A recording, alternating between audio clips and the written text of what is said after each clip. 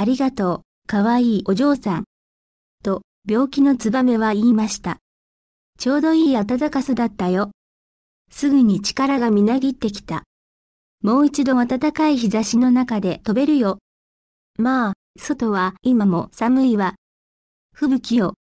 このまま暖かいベッドの中にいてください。私があなたをお世話しますから。と、親指姫は言いました。それから親指姫は花びらに水を入れて、ツバメのところへ持って行きました。ツバメは水を飲むと話を始めました。僕の翼の片方はトゲで傷ついているんだ。だから、みんなのように早く飛ぶことができなくなった。みんなみたいに暖かい南の国へ旅立てないんだよ。それからついに地面に落ちて、それからあとは覚えていないんだ。どうやって君が見つけてくれた場所に来てしまったかも。冬の間ずっとツバメは通路の中に留まっていました。親指姫は精一杯世話をするうちに、ツバメが好きになってしまいました。しかし、モグラもドネズミもこのことは何も知りません。というのも、二人はツバメが気に食わなかったから気づきもしなかったのです。あっという間に春がやってきて、お日様が地面をポカポカさせました。ツバメは親指姫にお別れの挨拶をしました。親指姫はモグラが前に作った天井の穴を開けました。お日様は二人の頭上にさんさんと照っていました。ツバメは親指姫に僕と一緒に行きませんか？と聞きました。君の大きさなら僕の背中に乗れますよ。僕と一緒に遠くの緑の森へ行きましょう。でも、親指姫は行ってしまって野ネズミを一人きりにすればとっても悲しむに違いないと分かっていました。だから親指姫はこう言いました。ごめんなさい、投了しておきます。ごきげんよう、そしてさようなら。君は本当に優しく可愛いお嬢さんだ。と、ツバメは言いました。そして太陽の光の中へ旅立って行きました。ツバメを見送る親指姫の目には涙が浮かんでいました。親指姫はあのかわいそうなツバメが大好きだったのです。キービ、キービ。と、ツバメは歌いながら緑の森へ向かって飛び立っていきました。親指姫はとても悲しみました。暖かいお日様の下に出ることは戻されませんでした。畑に巻かれた種麦は空に向かって高く伸びていき、ついには野ネズミの家の屋根を越えました。親指くらいの背しかない親指姫には大きく深い森でした。親指姫、お前さん結婚するんじゃよ。と、野ネズミは言いました。お隣さんがね、お前さんが必要なんじゃって。なんて運がいいんじゃろね。何もないお前さんが一日で大金持ちになるんじゃから。今ね、お前さんのウェディングドレスを用意しているんじゃ。それに毛糸とリンネルの反物をさくらんとね。モグラの花梅になる前に、必要なものはみんな用意するんじゃよ。親指姫は糸車を回して、糸を紡がなければなりませんでした。野ネズミは働き者の雲を4匹雇って、昼夜を問わず布を織らせました。毎晩モグラは親指姫を訪ねてきました。夏も終わりに差し掛かると、しきりに日取りのことを口に出しました。もう、その時に、モグラは親指姫と結婚式を挙げると心に決めていたのです。今年の夏は、日差しが燃えるように強いんだ。そのせいで地面が石みたいにカチコチになっている。けれども、夏が終わって地面がカチコチでなくなったら、私たちで結婚式を挙げるのですよ。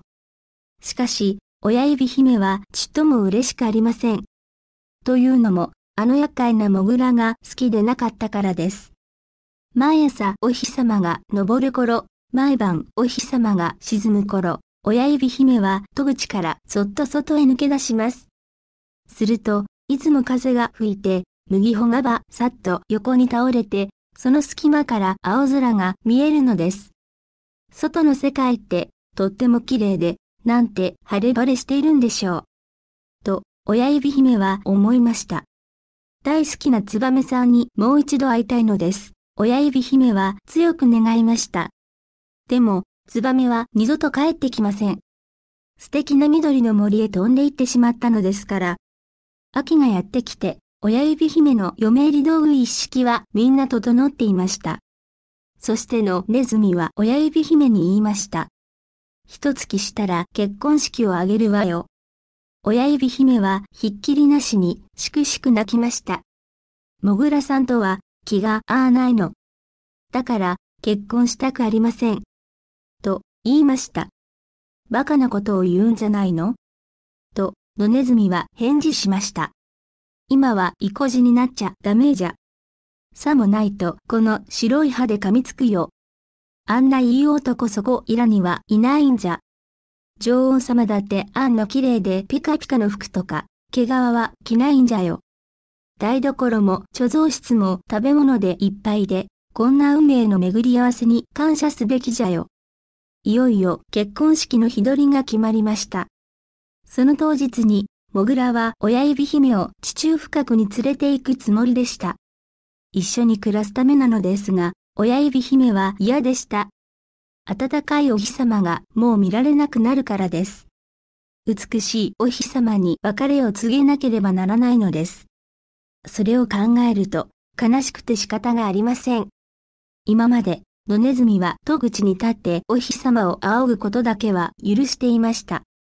親指姫は最後の一回とお日様を見に行きました。さようなら、明るいお日様。親指姫は声を張り上げ、お日様へ腕をピシッとまっすぐ伸ばしました。それからのネズミの家の周りを少し歩いてみました。というのも、もう麦計り取られていて、残っているのは干からびた切り株だけだったからです。さようなら、さようなら、と親指姫は何度も繰り返しました。そして近くに生えている小さな赤い花を抱きしめました。もしあのツバメさんに出会ったら、あなたからよろしく言ってね。キービ、キービ。突然上の方から声が聞こえました。親指姫は空を仰ぎました。すると、手の届きそうなところにそのツバメが飛んでいるのです。ツバメは親指姫を見つけると、すぐに喜んで地面に降り立ちました。それから親指姫はツバメにこれまでのいきさつを話しました。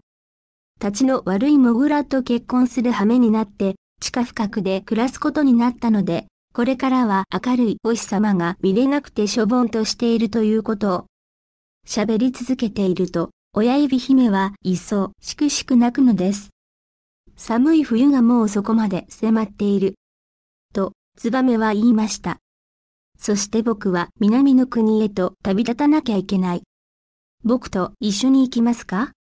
背中に乗ってください。そして腰のリボンで自分をしっかり結びつけてください。そうしたら僕らはモグラからもどんよりとした部屋からも飛び出すことができる。飛び出して山を越えて暖かい南の国へお日様がさんさんとさんさんと照り輝く場所へ飛んでいくことができる。こことは比べ物にならないよ。そこはいつも夏のようで、花たちはとても優雅に咲き乱れているんです。僕と飛んでいこう、親指姫。君は僕の命を救ってくれたんだから。あの暗い通路で凍え死んでいた僕を。ええ、私、あなたと一緒に行きます。と、親指姫は言いました。そして鳥の背中に座って空いっぱいに広げた翼の上に足をかけて、そして一番丈夫な羽の一つに腰のリボンをくくりつけました。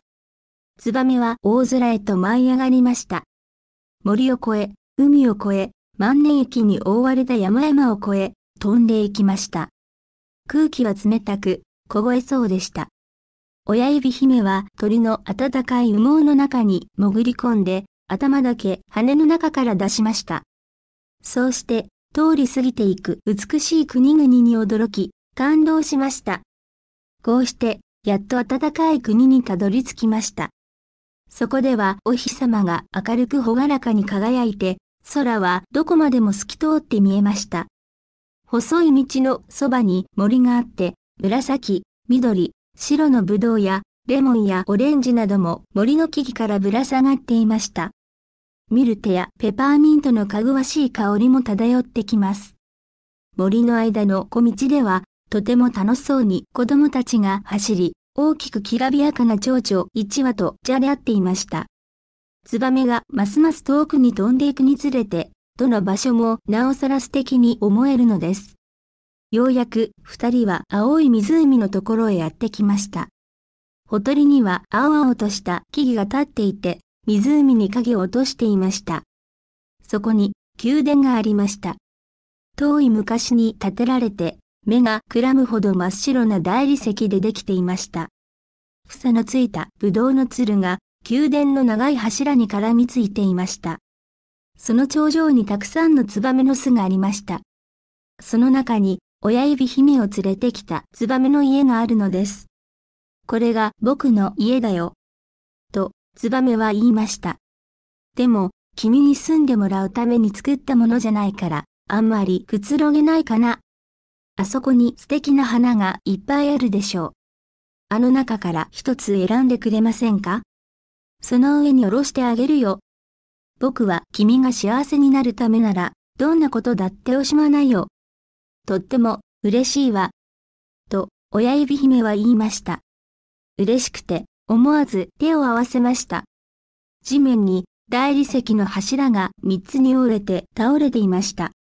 もともとは一本だったのですが、崩れて倒れる時にぽっきりと折れてしまったのです。その三本の柱の間に何よりも美しい大きな白い花がいくつも咲いていました。ツバメは親指姫と下に降りていって大きな花の上に乗せました。親指姫はとてもびっくりしました。花の真ん中に小さな人がいたからです。その人は水晶みたいに白く透き通っていました。頭の上に金の冠をかぶって、背中に優雅な翼がついていました。そして、親指姫と同じくらいの背の高さでした。実は、その人は花の妖精でした。どんな花にも、そういう男の人と女の人が二人住んでいるのです。その中の王様がこの人なのです。まあ、なんと美しい方、親指姫はツバメに小声で囁きました。その少佐な王子様ははじめ、巨人のように大きい鳥を見て、ひどく怯えていました。王子様もそれだけ小さな人間なのです。でも、王子様は親指姫を見ると、とても喜びました。こんなに綺麗な女の子は今まで見たことがないと思いました。王子様は金の冠を外して親指姫の頭にかぶせました。そして王子様は名前を聞いた後、こう言いました。どうか私のお嫁さんになってくれませんか？すべての花のお妃様となってくれませんか？息子がいるや、ふわふわでピカピカの黒服を着ているモグラを婿さんにするのとは比べ物にはならない重みのある言葉でした。親指姫は、はい。とかっこいい王子様に言いました。すると、ぶわっとすべての花が咲いて、妖精たちが小さなお妃と王様のところへやってこました。みんな綺麗で、二人を見てにこやかに笑いました。みんな親指姫に贈り物を持ってきていました。その中で一番の贈り物は、一組の美しい翼でした。大きく白いハエの翼で、親指姫の背中にぴったりとくっつけてくれました。これで花から花へと飛び移れるようになったのです。その後、お祝いがありました。あのツバメがお祝いの歌を頼まれて、もちろん引き受けました。ツバメは二人の頭の上の巣の中で、じっと動かずにウェディングソングを歌いました。自分のできる精一杯の花向けだと思って歌いました。ツバメはとても悲しいけれど、それを隠して歌いました。心の中では親指姫を愛していたのです。親指姫と別れたくないのです。これからは親指姫なんて名前で呼んではいけないわ。と、花の妖精が言いました。変な名前を。あなたはとっても可愛いんだから、マーヤと呼びましょう。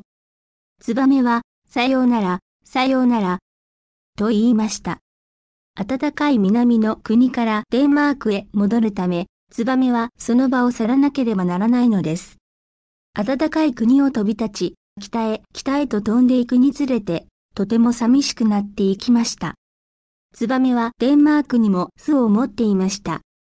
ある家の窓の上に巣はありました。その家には童話を書くおじさんが住んでいました。ツバメは巣の中でキービ、キービ、と歌いました。それは親指姫が生まれて幸せになるまでのお話の歌でした。